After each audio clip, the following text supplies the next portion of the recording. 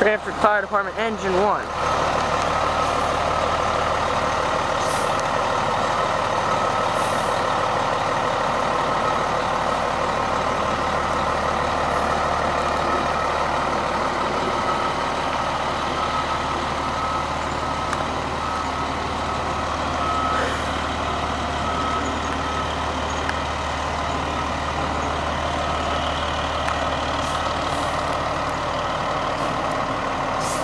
These guys just came to our house because our fire alarms went off.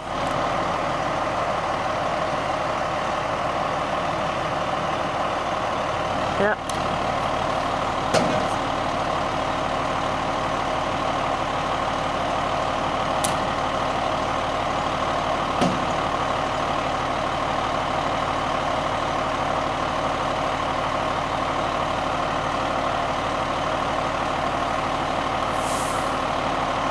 Right.